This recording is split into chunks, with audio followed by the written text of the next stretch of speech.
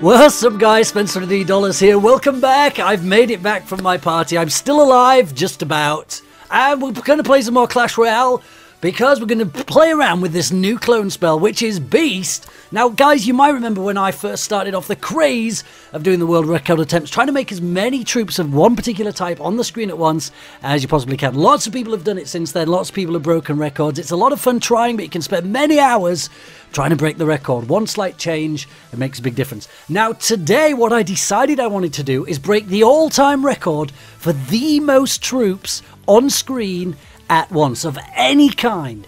Now, first off, we just thought we'd play around with the Inferno Dragon. We all know you can get a lot of Inferno Dragons on because they're so easy to defend with spammy troops. With the hut spam, you can defend Inferno Dragons pretty much till the end. We just wanted to see how many you could get with a clone spell is it going to be the world record for the most troops on screen at any one time? If maybe you even consider the uh, spammy troops that you're sending against them? Well, the answer is definitely no. You cannot get the most troops on screen at any one time using the Inferno Dragon. A lot of fun trying, but you will not beat the record this way. So what do you guys think? We did have a go with the minions, but minions are so powerful you cannot defend the minions for more than 30 seconds once you start once you start cloning minions they wreck anything you try and defend with. And obviously now the golem explodes, blows up minions as well. Uh, you don't even have the golem to help you defend. So guys, the answer is very clearly you are going to have to use Larry's. The most troops you can get on screen at any one time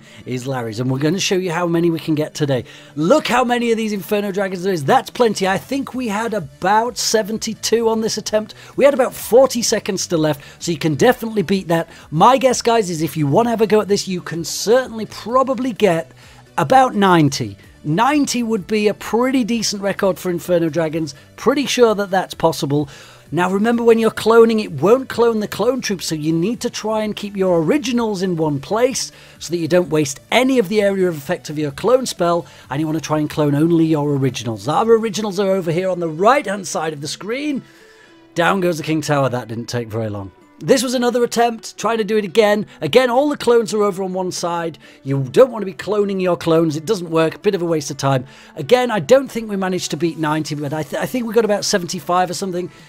I think one of you guys can get 90. If you do get 90, by all means, screenshot me, tweet me at Spence23. I very much like to see it. Pretty sure you can do it. It's all about the, the guy with the Inferno Dragons rather than the Defender on that one. Right, guys, so this was the Larry Army attempt. Now, the good thing about Larry Army is you've now got the graveyard spell as well, so you can produce a lot of Larrys very quickly, which you need to be able to do because nobody can defend the Larrys either. You can't use a golem to defend, it blows up the Larrys.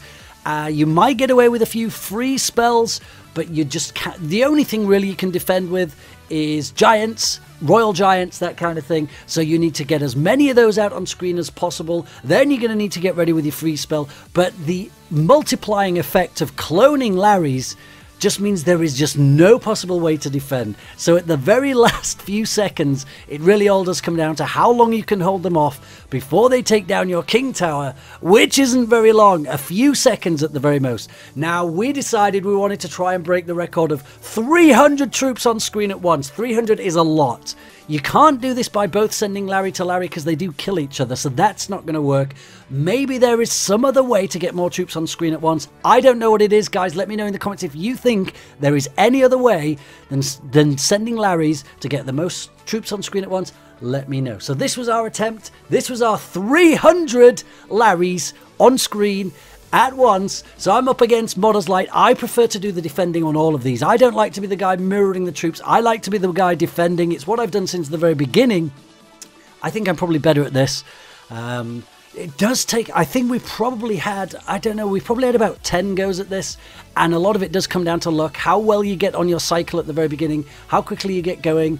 Uh, and whether the Larrys go crazy, if they all split up and you don't manage to clone them in the right places, or if some of them escape like those ones and start killing your pumps, you need to be ready to get those. So down goes my giant. I'm going to try and build up as many giants as I can now. Got a giant in, a royal giant. Now, the the person who is going to drop the Larrys, they really don't need their elixir anymore at this stage because they're going to be destroying you in literally no time. There is nothing you can really do to defend. I've got a freeze spell in there trying to keep these giants alive as long as I can. There goes the clone.